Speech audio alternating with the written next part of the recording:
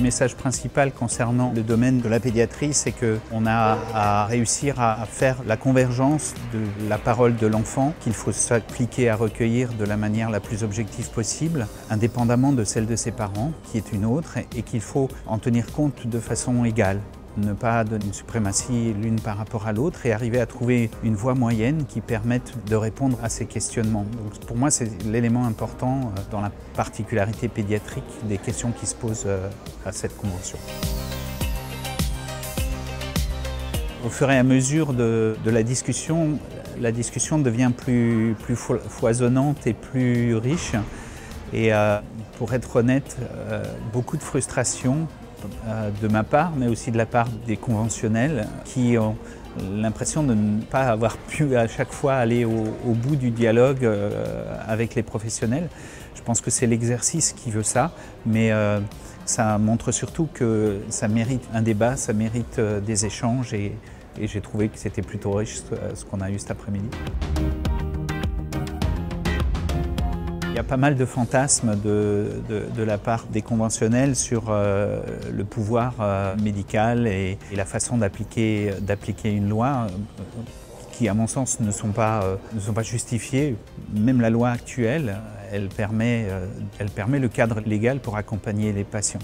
Le problème est que pour accompagner des patients, il faut des êtres humains et je pense que ça, ils ont compris et ils ont apprécié cette chose-là qu'on a beau euh, mettre des outils légaux, si on n'a pas derrière des personnes pour les appliquer de façon humaine, on n'avance pas. Donc euh, je pense que c'était une bonne qualité euh, d'échange sur ces, sur ces aspects-là.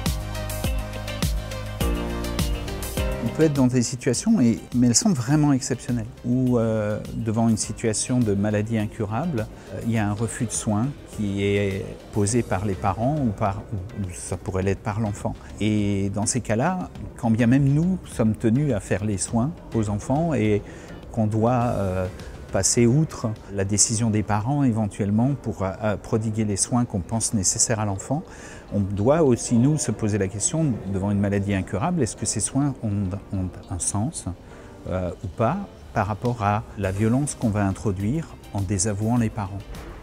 Et, là, je pense qu'on a besoin d'une souplesse dans la loi pour que la demande des parents ne devienne pas un droit exigé, mais que la loi nous rende possible euh, l'accompagnement le plus humainement possible de ces différentes situations. Donc c'est vrai que euh, entre pénaliser des choses qui sont illégales et permettre des choses qu'on pense euh, humaines, je pense qu'il y a tout l'espace où on doit, pouvoir aborder cette loi. Pour la pédiatrie, il y, a, un enjeu majeur qui est la gestion de, la famille. Hein. On a un enfant qui disparaît, c'est des frères et sœurs qui restent euh, là, euh, des parents qui restent là. Et c'est clairement des situations où, tant qu'on est pris en charge dans un hôpital, dans un système de soins, on est accompagné. Et une fois que ceci n'est plus le cas, puisque l'enfant n'est plus là, on se retrouve parfois un peu seul.